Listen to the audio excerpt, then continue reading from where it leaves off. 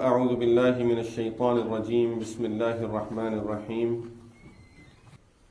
هو الله الذي لا إله إلا هو. عالم الغيب والشهادة هو الرحمن الرحيم. هو الله الذي لا إله إلا هو. الملك القدوس السلام المؤمن المهيمن العزيز الجبار المتكبر. سبحان الله عما يشركون. هو الله الخالق البارئ المصور له الأسماء الحسنى يسبح له ما في السماوات والأرض وهو العزيز الحكيم. صدق الله مولانا العظيم. We talked about Allah subhanahu wa ta'ala's name Allah, Ar-Rahman, Ar-Rahim, and Al-Malik. And the reason I'm reminding is, inshallah, for us to keep on memorizing these attributes of Allah subhanahu wa ta'ala. Otherwise, it may happen that we feel that it's easy and I can catch up later on. And at the end, we find ourselves not being able to do it just like many other things in our lives. So it's always the best that as we go along, we keep on memorizing these names of Allah subhanahu wa ta'ala, especially the ones that we cover each session and each week. Today, inshallah, we will talk about some other attributes of Allah subhanahu wa ta'ala, the one that comes next. And as I mentioned earlier, that we are following the order that comes into the hadith, which is in Sunan al-Tirmidhi. And in that hadith, the one that comes after a malik is Al-Quddus subhanahu wa ta'ala. What does Al-Quddus means? Normally it's translated as holy, but I don't really know what understanding we normally get when we hear the word holy. Because we hear this word used for different things. Wallahu alam, people who are familiar with the language, what feeling they, they get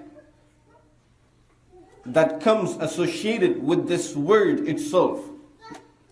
But to me, it looks like is not what we are supposed to get by the name Al Quddus subhanahu wa ta'ala. And that is only because the use of the words in different languages, it all depends on how people of that language, those who are used to speaking the language, use that word, where it's used, and then at the same time, for what it is being used. If the use of the word is very common, the, the meaning may be very great, but if the use is very common and they use it for anything, to mention the greatness of something, to mention that something is big, mention something is great, then of course we lose the effect of the meaning of that word. So Al-Quddus subhanahu wa ta'ala, what does it mean? In the language itself, in Arabic language. This word is driven from the word Qaf Dal Sin, Qadasa. Quddus is driven from Qadas and Qadasa in Arabic language means to be pure, to be clean. Anything that is pure and clean is Qadas. And then the form Quddus simply means extremely clean. When it's used for Allah subhanahu wa ta'ala, we need to understand that we can never understand how pure and glorified Allah subhanahu wa ta'ala is. We will only be using examples that be fitting our understanding and our mind and looking at things that are clean or pure within our world so we are able to understand at least the meaning of the word, not the exact application of it when it comes to the word being used for Allah subhanahu wa ta'ala. Because if we think of purest thing in this world, the purest thing in this world, Allah subhanahu wa ta'ala is greater than that. And everything in this world, no matter how pure it is, there is something affiliated with it, attached to it, that makes it impure. Whatever that thing might be. So, we will be only using examples to understand the application of the word, the meaning of the word, but when it comes to the application of the word in the sense of applying it to Allah subhanahu wa ta'ala, then of course we have to remember Allah is greater and more holy, more pure than what we can understand. In Arabic language, Qudus is used for a big bucket also. If there is a huge bucket, not normal buckets, they don't use the word Qudus for normal buckets, but if the bucket is too huge, they use the word Qudus for it. And the reason for it is because it simply means this is a size of bucket that takes so much water that will purify anything that will get into it. So again, the word purity is applied over there. When we use this word for Allah subhanahu wa ta'ala, it simply refers to Allah subhanahu wa ta'ala being pure from all kind of impurities. Allah subhanahu wa ta'ala is pure from any defect. Allah subhanahu wa ta'ala is pure from any association where he is in need of something, where he is in need of someone. Allah subhanahu wa ta'ala is pure from having a beginning or having an end. Allah subhanahu wa ta'ala is pure from having any need for himself subhanahu wa ta'ala. So purity in all senses, which means there is no defect and there is no impurity whatsoever affiliated with Allah subhanahu wa ta'ala.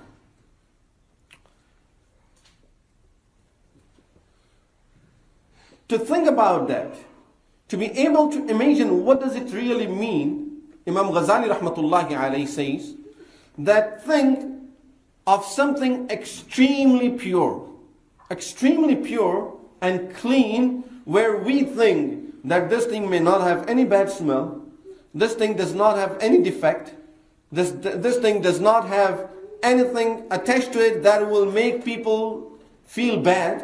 I mean, everything is pure, clean, perfect. And we, will real, we need to realize that all of that, after having that thing in our mind, that thing is still defective because it's something that will have an end to it. And that by itself is a defect for something to have an end, for its purity, for its existence. If something is clean and pure, and it will not get unclean, but one day it will finish. One day, this thing will finish. So, of course, it simply means that there is a defect in it. The purity of this thing is very limited. Allah subhanahu wa ta'ala has no limits to His being Al Quddus subhanahu wa ta'ala. Any perfume that we use, the fragrance of that perfume will not last forever. It has a certain time after which it's going to end. That's it. No more smell in it, no more fragrance. Apply bottles of perfume on yourself. People will be able to smell a lot of fragrance, very high fragrance, but after some days, it's all going to go away. It's only Allah subhanahu wa ta'ala is such Quddus subhanahu wa ta'ala that nothing that is affiliated with Allah subhanahu wa ta'ala, any of his attributes, any of his qualities, anything that is affiliated to Allah subhanahu wa ta'ala, those things always remain pure and clean. it leads us to another very important thing that many times we don't pay any attention to it, and that is our ruh. But inshallah, we'll come to it a little later. First thing, I would just like to explain this word Quddus as it applies to Allah subhanahu wa ta'ala. So when we talk about Allah subhanahu wa ta'ala being Quddus, Allah subhanahu wa ta'ala is Quddus from everything, from even having anything that would resemble Allah subhanahu wa ta'ala. Because if anything resembles Allah subhanahu wa ta'ala, then Allah subhanahu wa ta'ala is not the only Quddus. Then there is something else that is as pure and as clean. but of course, Allah subhanahu wa ta'ala is the only Quddus of that type that where there is nothing like Allah subhanahu wa ta'ala. So when we say nothing like Allah, not only in the ibadah of Allah, not only in the ibadah of Allah subhanahu wa ta'ala, even in the attributes of Allah subhanahu wa ta'ala. Nothing can be quddus like Allah subhanahu wa ta'ala and pure like Allah subhanahu wa ta'ala. When we go for Hajj, sometime a question comes to people's mind that they don't find any answer to it, but they follow it. Knowing that it's an order, okay, let me just follow it. But they don't find any answer to it. By knowing this name of Allah subhanahu wa ta'ala, we would find a great answer for that question also that troubles many people. And that is, during the days of Hajj, when you are in your ihram, there are so many things that we are not able to do. So many things that are forbidden during ihram you cannot wear regular clothing. Okay, we may find some reason for it. Equality. All people will look same. There are no difference between rich and poor. And a lot of other things, reminding you of your coffin, reminding you of your death, keeping all of our dunya behind. But when it comes to the use of perfume, atar, we find that if you use it, you have to pay penalty. It's a sin to use perfume intentionally during ihram. It's forbidden. Now, when this question comes to people's mind, many times they cannot digest this thing here that why perfume is not allowed. Islam is a clean religion. Islam teaches us purity. Islam teaches us to be clean. And of course, we see that in the teachings of Islam. So how come then at this time Islam said, don't even use that perfume? We can understand when we look at this attribute of Allah subhanahu wa ta'ala, Al-Quddus subhanahu wa ta'ala, that although to cover up some of our defects we may use some perfume, use of the perfume is for covering our defect, showing our need for these nice good fragrance. What is it beyond this? If we say that really the person is not, has no bad smell, no defect, and no need, then he wouldn't need no perfume. Rasulullah sallallahu alayhi wasallam, his attachment with Al-Quddus subhanahu wa ta'ala was such that Allah subhanahu wa ta'ala made him so pure and clean that even the sweat of Rasulullah sallallahu alayhi wasallam used to have fragrance in it. That's his attachment with Al-Quddus subhanahu wa ta'ala. So now the question is, how come in Ihram we are not able to use it? Because, remember, this atar, this perfume that we use, after all, it's something from this dunya. We are using something of this dunya to cover up some of our shortcomings some of our defects. Or just to enjoy, which is another defect within human beings, that they always have different feelings and their uh, feelings go so low now to get higher. They may use some atar, some perfumes, these type of things. In those days, Allah subhanahu wa ta'ala wants people to just cut off from this dunya. Cut yourself off this dunya so much that don't even go after these other, just run after Quddus subhanahu wa ta'ala. All you're doing is from Mecca. He says, leave Mecca, go to that desert in Mina. Then from Mina, go even further away and go to Arafat, go to Muzdalifah. Spend your days over there in Arafat, spend your night in Muzdalifah. What are you doing there? Just detaching yourself, keeping away from all of this dunya. And the only connection that person has now is with Al Quddus subhanahu wa ta'ala. And it shows the need for us to really have our connection with Al Quddus subhanahu wa ta'ala and disconnecting from the worldly things. That is a lesson that really gives us some higher level of this connection where a person leaves everything. Connection with anything is not allowed. Connection with your family is not allowed. Connection with your clothing is not allowed. Just enough to cover our satr, and that is also with some restrictions and conditions. And don't even cut your nails. Don't even cut your hair. Don't even use any attar or perfume on yourself. Toothpaste has fragrance in it, don't use it. Any type of fragrance, don't use it. Totally cutting ourselves off of anything that is of this dunya. And of course, when the person will be cutting himself of this dunya, then his connection with Allah subhanahu wa ta'ala is getting stronger. So this leads us to another point over here, and that is our connection with Al Quddus subhanahu wa ta'ala, how to connect ourselves. As we see from this example of Hajj, that if you really would like to be connected to Al Quddus subhanahu wa ta'ala, then purify your heart from all other connections. Rasulullah sallallahu alayhi wasallam said in the hadith, إن الله لا ينظر إلى صوركم Allah subhanahu wa ta'ala does not look, look at your face, at your look. That if you're better, if you look, is, uh, you look better, more handsome, prettier, then you are dearer to Allah. No. Allah subhanahu wa ta'ala looks at your hearts and your a'mal. And in Quran al-Kareem, Allah subhanahu wa ta'ala tells us at the beginning of Surah Al-Ahzab, مَا جَعَلَ اللَّهُ لِرَجُلٍ مِّن قَلْبَيْنِ فِي جَوْفِهِ Allah subhanahu wa ta'ala did not put two hearts in the chest of any human beings. Every human being has one heart.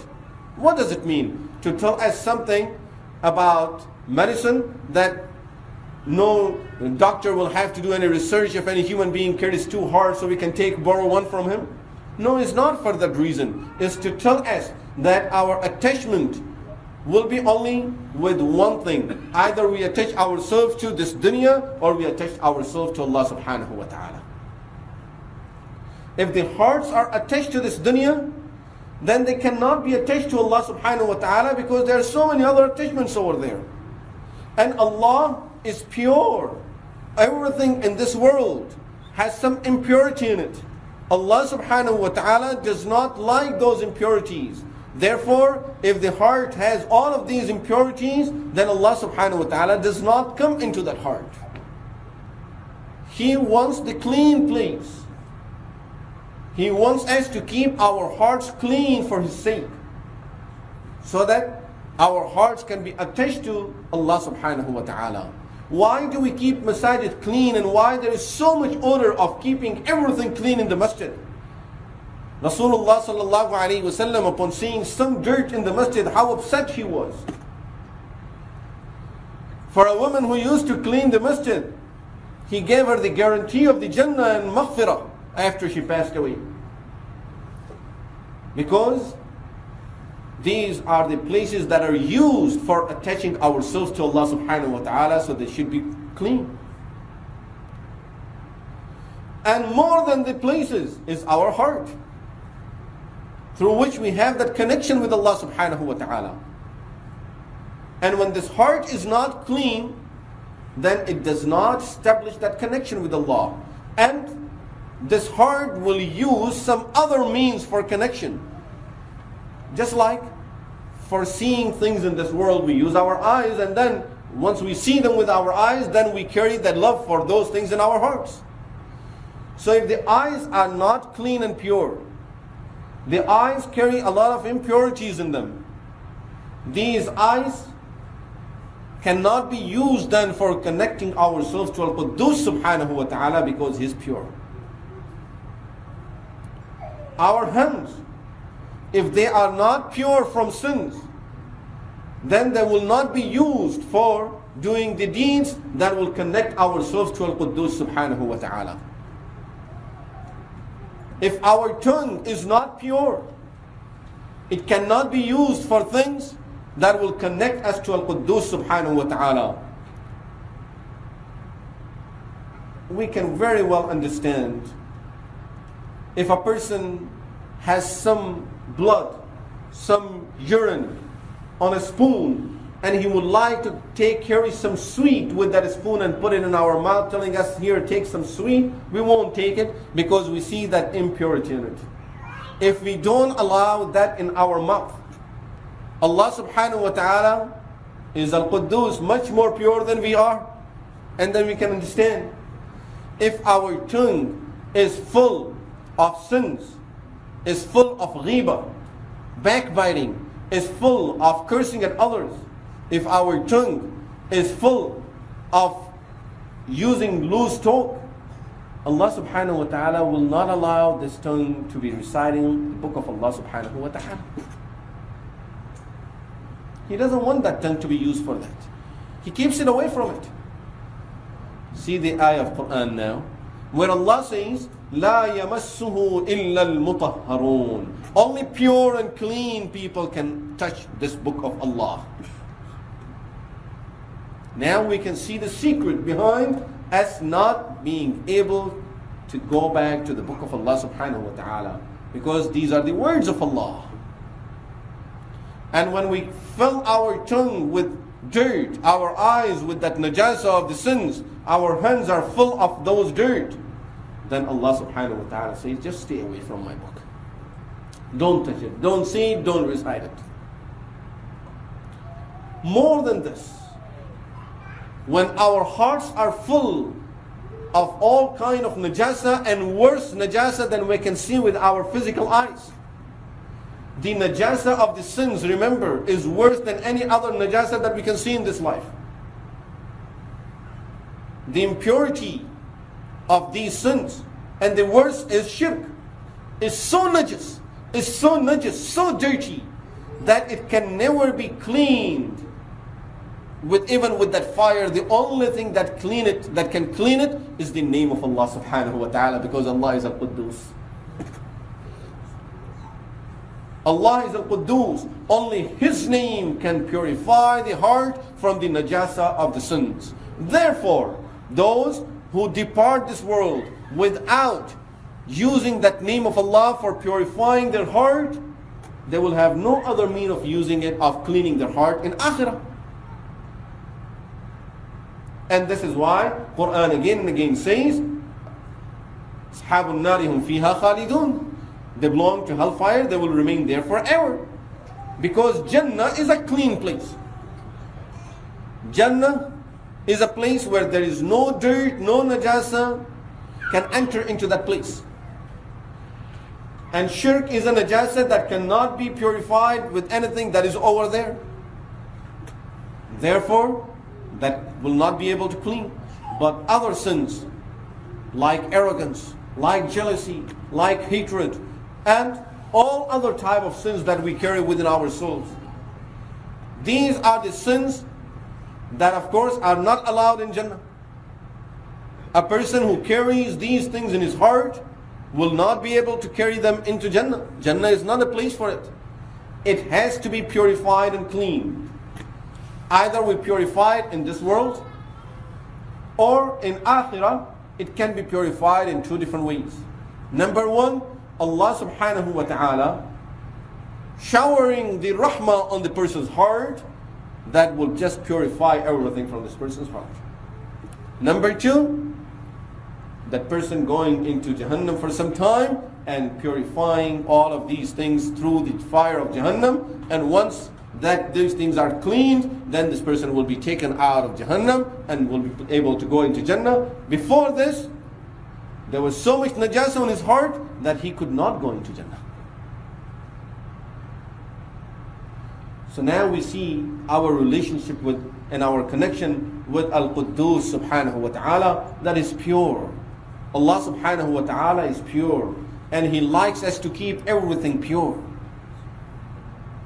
And in order for us to keep everything pure, we need to keep our body pure from all kind of dirt, physical and spiritual. Which means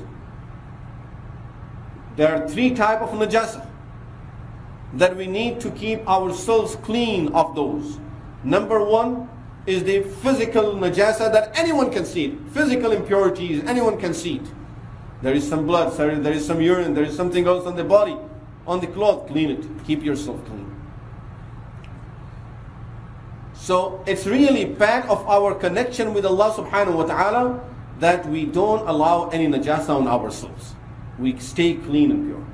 Number two, the najasa which we cannot see. The najasa that we cannot see. But Allah subhanahu wa ta'ala informs us that if you do certain things, you will have some najasa on your body that you will not be able to see, but you can clean it by using water. And that is why we perform wudu and we make ghusl when it becomes fard on us.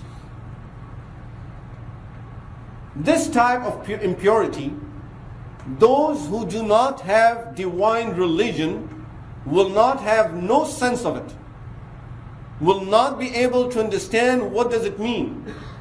Yes, those who have a divine religion, they understand that there is that type of impurity. This is why the people of book, Christians and Jews, according to their book, they understand that there are some impurities which we cannot see. It's on the body of the person, and the person has to wash himself or herself to get rid of those impurities.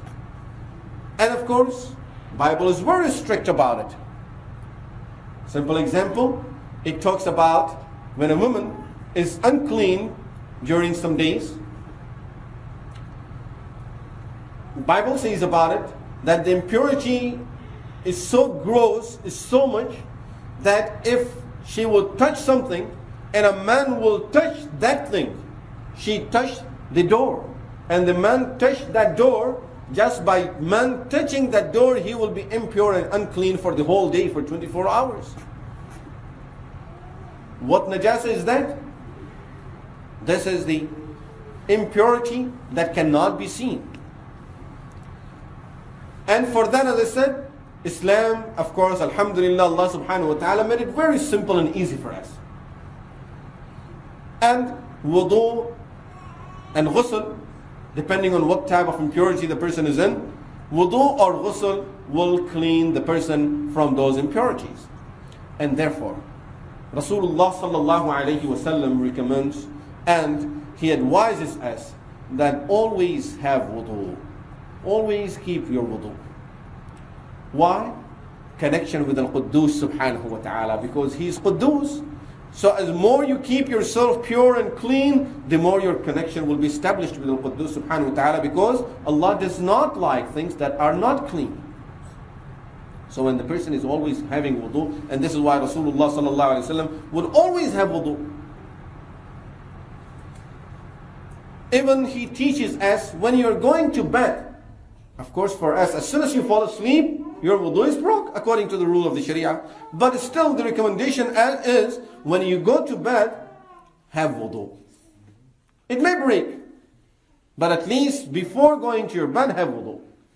It's a sign that even when you are laying in your bed, you are establishing, you want to keep that connection with Al Quddus subhanahu wa ta'ala. It will remind you of Al Quddus subhanahu wa ta'ala. See the connection now our connection with Al-Quddus subhanahu wa ta'ala. This is the second type of impurity. The third type of impurities are the impurities of the sins, which is worse than these first two impurities. The impurity of the sins. And the worst of those is shirk and kufr. But less than that is any type of sin is an impurity. And when these type of impurities start getting into the heart, the heart starts breaking from Allah subhanahu wa ta'ala. Because Allah is Al Quddus. And this is why. Allah subhanahu wa ta'ala, although He made our body from this dirt, and this body will go back into the dirt, but our ruh is not made out of dirt. Our ruh is not made out of dirt. The ruh comes from up. وَنَفَخْتُ فِيهِ مِنْ رُوحِي When I blow my ruh into him. This ruh was not taken from this earth. This is why. When a person dies, this dirt goes into the dirt. The ruh is taken up. Now it depends. If the person kept his ruh pure and clean from all kind of the najasa of the shirk and sins, this ruh will be allowed to go up and be there in a clean place. And this is what Allah subhanahu wa ta'ala says in Surah Al-Mutaffifin. كَلَّا إِنَّ كِتَابَ الْأَبْرَارِ لَفِي عِلِّيِّينَ The record of the virtuous people will be, will be in عِلِّيِّينَ عِلِّيِّينَ in a high place with Allah subhanahu wa ta'ala. But if that ruh is impure, we have applied a lot of sins and the najasa of the sins on this ruh. Allah subhanahu wa ta'ala says, Ana al-Quddus, I am Quddus. I cannot allow this impurity over here with me. Then he sends this ruh to somewhere else, which Allah subhanahu wa ta'ala says about, which he says in Surah Al-Mutaffifin again, كَلَّا إِنَّ كِتَابَ الْفُجَّارِ لَفِي سِجِّينَ That the record of the criminals, of the wrongdoers, will be in Sijjeen. and as described in the hadith, Rasulullah sallallahu alayhi wasallam says that it's a place below the earth where all the arwah of the sinners are kept over there. So the ruh comes from there. As we understand this point, now the next point is very easy to understand, and that is, as this physical body comes from dirt, therefore, the nourishment for it also comes from dirt. All type of our nourishment, food, whatever we eat, lotions, creams, medicine, uh, whatever we use for our physical body comes from the dirt. But ruh, our soul, did not come from the dirt. It came from up. Therefore, the nourishment for it also comes from up. And that nourishment is the deen of Allah. That Allah sent in a form of wahi revelation. The revelation did not come from the earth, it came from Allah subhanahu wa ta'ala, came down. And this is why Allah again and again says in Quran, reminds us of this very beautiful fact that Inna nahnu nazzalna zikr. We have sent down this reminder for you people. We have sent down this Quran for you people. All of these, these things came from up from the same place where the ruh came from.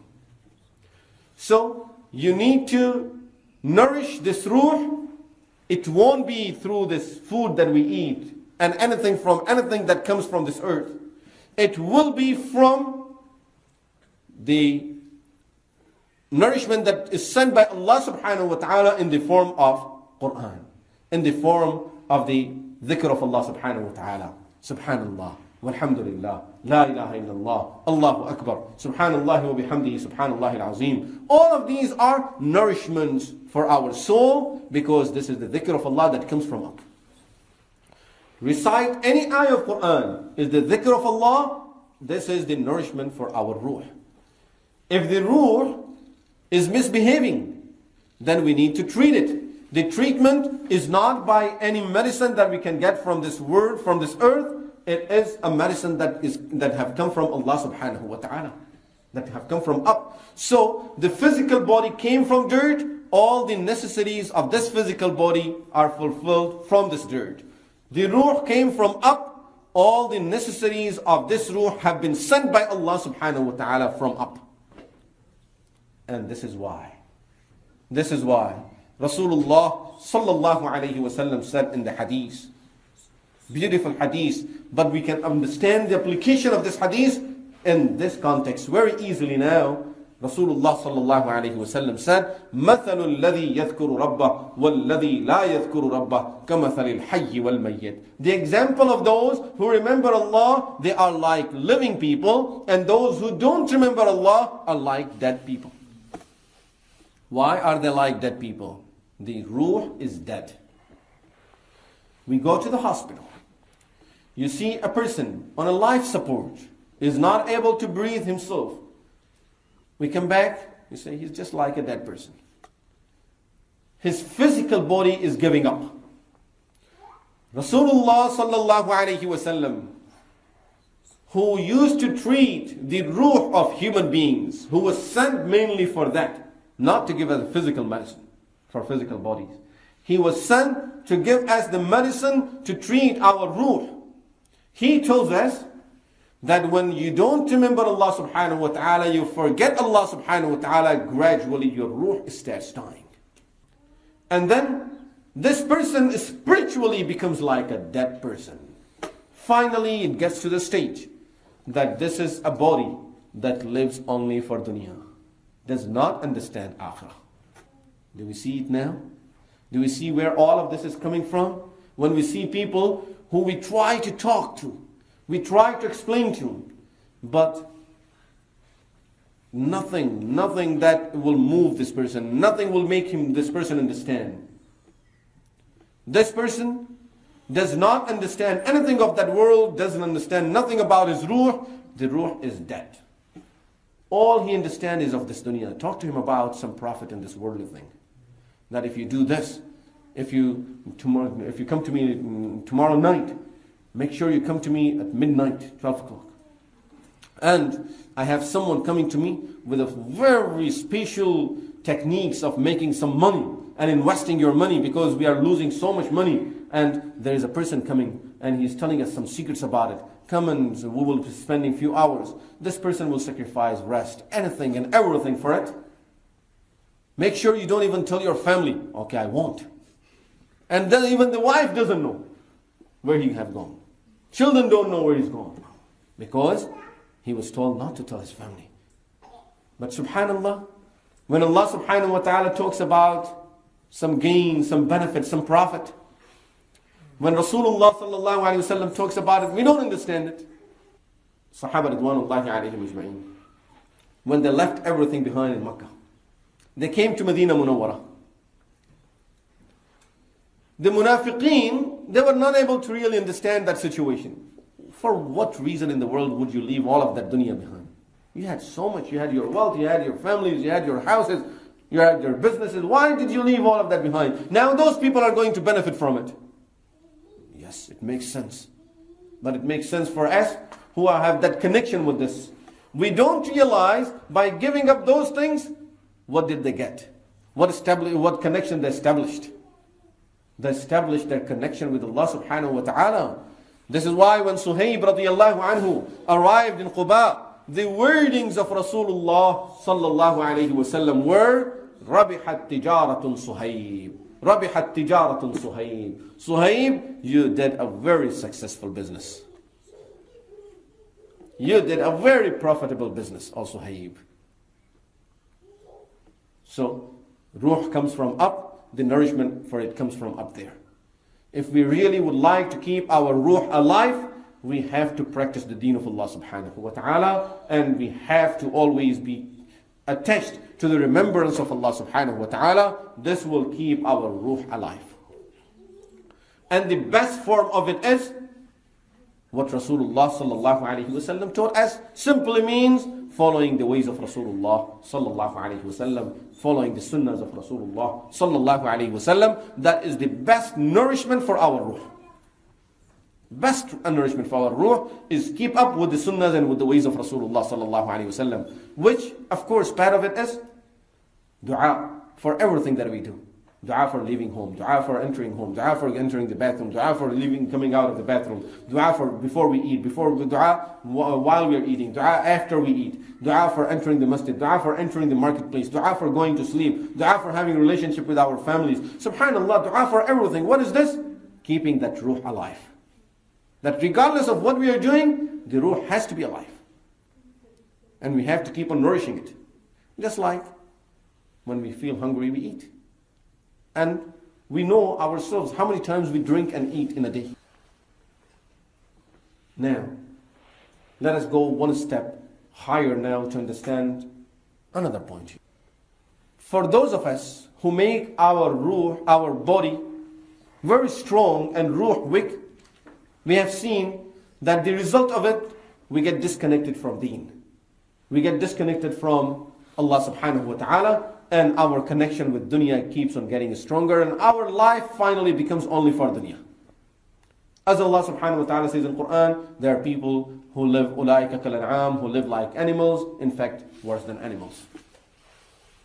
Because when human beings start living only for dunya, they don't stay at the limits where animals would stop, which means just eat, have rest, and wake up and find some, find some more food and be nice to each other human beings go beyond those limits.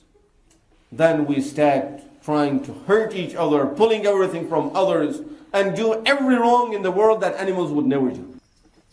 We have never heard that lions saying to each other, Look, we are the strongest animals, and we are stronger than human beings, and these animals, these human beings are so bad, or these other animals are so bad. Let's all of us get together and form our army, and we will go and destroy those nations one after another. Lions do, don't, don't do that. Snakes don't do that. Scorpions don't do that. Individually, they may hurt people or hurt someone, something else. But they don't get into that to that level where human beings will get to.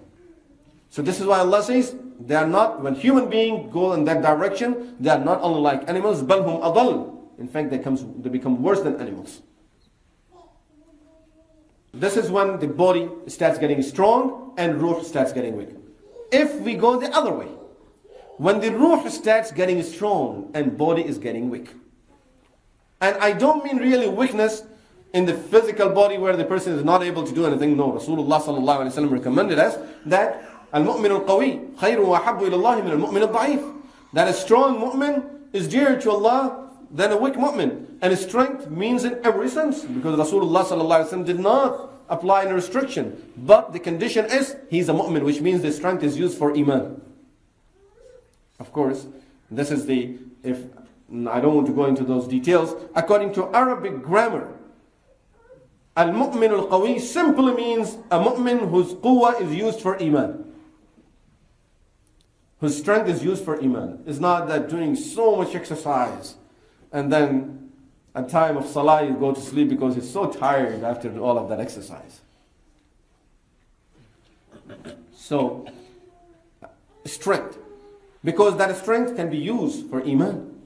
But the point is, when the ruh gets strong, at that time, these ruh will always manipulate. And ruh will tell the body what to do. The body will not tell the ruh what to do. For us, in most of our cases, our body tells the ruh, go to sleep. We say, okay, let's go to sleep. The body says, you need more rest. Don't wake up for Salat al-Fajr. Okay, let's go to sleep. And I won't wake up. The body says, you're tired, you cannot fast. We'll say, okay, I'm not going to fast. The body says, you're tired, you cannot recite Quran. Okay, I won't recite. I will have rest. I will have tea. I will eat food. But for some other people who have worked on the ruh, the ruh manipulates the body and tells the body that you have to get up. And the body, although it may complain for some time that I'm weak, says, you have to get up. And he gets up. The body has no say in it. Now you see the secret. When you hear the hadith, Rasulullah sallallahu alayhi wasallam, he is performing salat al-tahajjud and his feet are swollen. How can ever a person think a human being would be able to stand on swollen feet. Feet that are swollen. How can you stand on these feet? There is water full in there. There is there may be pus full in there. How can you even touch it? Forget about standing and putting your weight on it. And then standing on it for so long that he's reciting seven, eight juz, nine, ten juz while he's standing on these swollen feet. Why? The body says, I'm swollen, I'm hurt, I'm in pain. The ruh says that I need some nourishment. Get up. I need some food. Recite some Quran. The ruh defeats the body. In our case, the body defeats the ruh. So if we would like to get that, this is what we need to do. Make your ruh strong.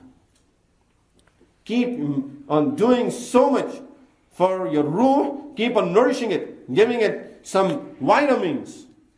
Keep on giving it a lot of vitamins, which is, as I said, the tilawah of Quran, the remembrance of Allah, the following of the sunnah of Rasulullah. All of these are vitamins for the body. Keep on giving it all of these vitamins. Make it so strong that it will tell the body, now at this time I'm hungry, I need food, and body has to say, oh yes sir, okay, let's go. So this is the attachment, this is the relationship between the ruh and the body. The reason this point came up and I was explaining it because Allah subhanahu wa ta'ala is al-Quddus. He gave us our ruh. That is, that came from up, did not make it from this dirt because had it been made from this dirt, it will always stay dirty at least to a certain level. Just like our body. No matter how you, how much you clean it, inside it is full of blood. Inside it, there is so much dirt in there. So much, so much najasa in there. That if you open the body, we won't be able to smell it, we won't be able to touch it, we won't be able to look at it. Ruh is not like that. Allah gave us something pure and clean. So that if we keep it pure, through our ruh, our attachment will be with Allah subhanahu wa ta'ala. Because it came from up, it's pure and clean, you can keep it pure. And now, understand another hadith where Rasulullah sallallahu alayhi wasallam says, "Kullu mawludin yuladu al-fitra." Every child is born pure and clean, which means at the time of birth there is no impurity on this ruh. This ruh is pure. Then, because of doing other things that we do in our life, the impurity starts getting on this ruh. The gist of it to understand what Al Quddus means for us simply keeping ourselves clean and pure from all type of najasas. Keeping our physical body clean as much as we can. Keeping our ruh clean. No najasa of the sins. Keeping it clean and pure from all kind of impurities of the sins. So that we are able to connect ourselves to Allah subhanahu wa ta'ala. In the month of Ramadan, we fast. Because of this fasting, we realize that our connection with our deen gets very strong. Everyone feels it. Our connection with Quran gets stronger. Our connection with the Sunnah, with the Ibadah, with the Salah, with everything gets strong. The effect of that fasting. Why? In fasting, you are staying away from a lot of things of this dunya. You're detaching yourself from this, so you're attaching yourself from with Allah subhanahu wa ta'ala, with Al-Quddus subhanahu wa ta'ala. So again, as we see now Hajj, we see uh, Sawm, fasting, and Zakah. All of these things. What is Zakah? You give up something, which means you're showing that I don't have that connection. For your sake, I will give up this. Salah. Don't eat, don't drink, don't look here and there. What is all of this? Detach yourself from everything else. Attach yourself to Allah subhanahu wa ta'ala. This is why when these scholars are asked that what is the hikmah? What is the hikmah? What is the wisdom behind raising the hands at the beginning of salah? They tell us. Raising the hands means that indication I'm throwing everything behind my back. My whole dunya, there is nothing that that's Allahu Akbar, Allah is the greatest. I'm attaching myself to Allah. No more eating, no more drinking, no more even looking here and there. That's it. Stay away from everything. Full devotion to the ibadah and towards the remembrance of Allah subhanahu wa ta'ala. So, our connection with Al-Quddus simply means we need to keep all the other things out of our heart. Does, this does not mean we are not allowed to live in this dunya and do anything in this dunya. No. Use anything. Use whatever you need. Use everything of this dunya that is halal for you to use. But don't let it get into your heart. Keep it out of the heart. That heart, keep it for Allah subhanahu wa ta'ala. There are a lot of other accounts where you can keep your money. Why do we have to put that money into our hearts? And attach our hearts so much into it that after a loss of $100, the person doesn't even feel like performing salah. And after missing five prayers a day, he doesn't really never, we never feel that I don't want to earn today, I don't want to go to work because I missed my salah. After missing salah, you don't want to lose money. But after losing money, you want to miss the salah. So keep it out. This is what exactly it means. Al-Quddus, attachment to Al-Quddus subhanahu wa ta'ala. That we should keep our hearts from all other attachments and attach our hearts with Allah subhanahu wa ta'ala. Connecting, connect your heart with Allah subhanahu wa ta'ala. And finally, those who attach their hearts to Al-Quddus subhanahu wa ta'ala, their stage, their level of attachment becomes such that their heart does not look here and there. Their heart does not look, does not look here and there. How many times we find Rasulullah sallallahu alaihi wasallam is hungry. There is nothing to eat at home. Rasulullah sallallahu alaihi wasallam in that situation what he was doing and what he taught the ummah to do, what he taught the sahaba to do, and uh, of course, uh, that's his teaching as to do is first thing, turn to Allah subhanahu wa ta'ala. Don't let your heart to be attached with anything else. Attach your heart to Allah subhanahu wa ta'ala. So those pure and clean. He would like our heart to remain pure from all type of impurities and even from all type when you get to a higher level from all type of connection that will break our connection with Allah subhanahu wa ta'ala and this dunya everything is, is this dunya is impure. Therefore keep it out of your heart. Keep it out. Keep it in your pocket. Keep it in your dunya. Use it. But keep it out of your heart so that our attachment with Allah subhanahu wa ta'ala will keep on getting stronger and stronger. And this is Al-Quddus subhanahu wa ta'ala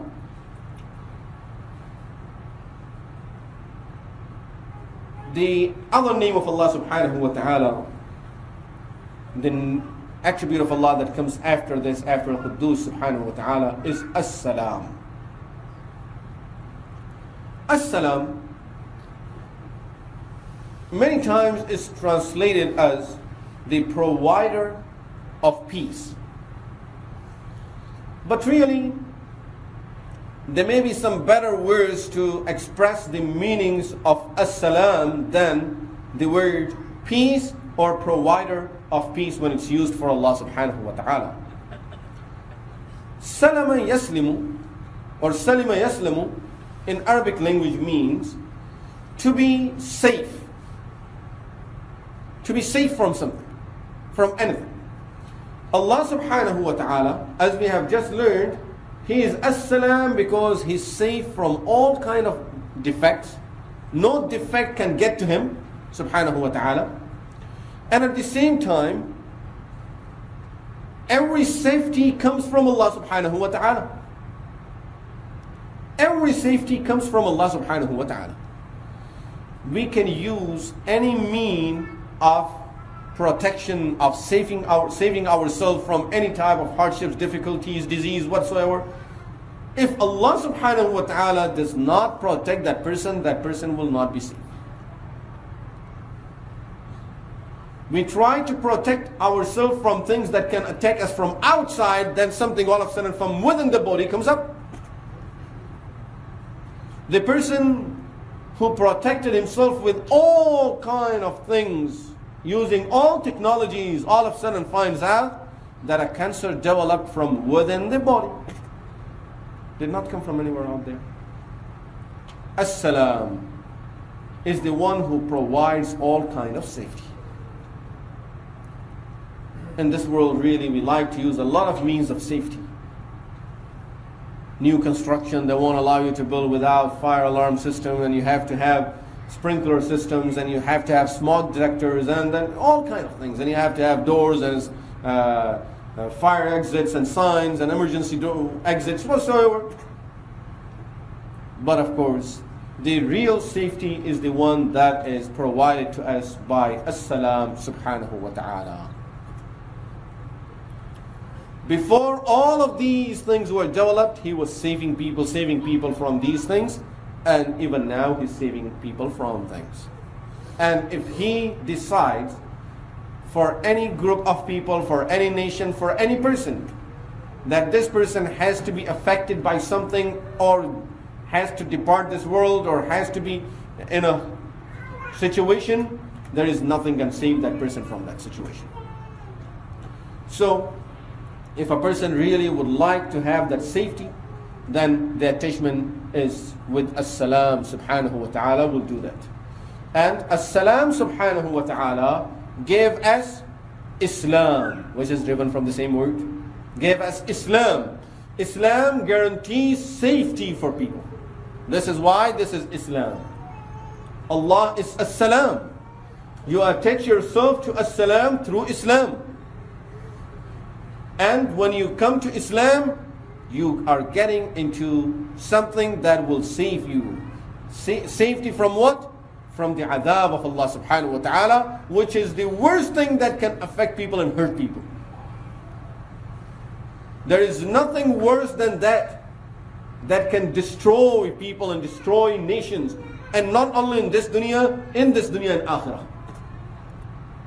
The anger of Allah. You are saved from the anger of Allah through al-Islam only. So As-Salam provides us with this Islam which is a guarantee for the safety. And Islam has so much safety in it that Allah subhanahu wa ta'ala and His Messenger sallallahu alayhi wa sallam taught us when you see any person who is in Islam, say to him, Assalamu alaikum. Which simply refers to that you are safe. And it's mainly a dua that may Allah always save you. Assalamu alaikum. We use the word peace. In reality, the word safety may be better than peace when we are translating the word salam because in Arabic language there is another word that refers to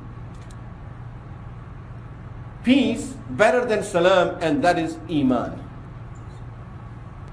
Here we need to remember believers we have we use two words for them Muslim and mu'min. And see the connection now. Safety and protection. Safety and peace. Iman is peace. Islam is safety and protection. Rasulullah sallallahu alaihi wasallam tells us in the hadith al-muslimu man salim an-nas min lisanihi wa yadihi. Muslim is the person from whose tongue and hand people are safe. وَالْمُؤْمِنُ مَنْ أَمِنَهُ النَّاسُ عَلَى دِمَائِهِمْ وَأَمْوَالِهِمْ And a mu'min is the person that people are in peace from this person are taking, taking their blood or taking their wealth. Safety and peace from Iman and from Islam. So this deen of Allah subhanahu wa ta'ala is the deen of Islam, is the deen of Iman, is the deen of safety, and is the deen of protection, where we know that once we are in this deen of Allah subhanahu wa ta'ala, this deen will teach us how we should be safe and how others should be safe from us. So many ahadith. I won't go into the details, otherwise we will lose this connection here of a salam. But there are so many ahadith where Rasulullah sallallahu wasallam informed us that if you are a Muslim, for you to be a Muslim and to be in this Islam, people should be safe from your hand and from your tongue. Our connection with As-Salam subhanahu wa ta'ala breaks when that safety is not there. When we are not safe from our own hardships when we are not safe ourselves, people around us are not safe from our own evils.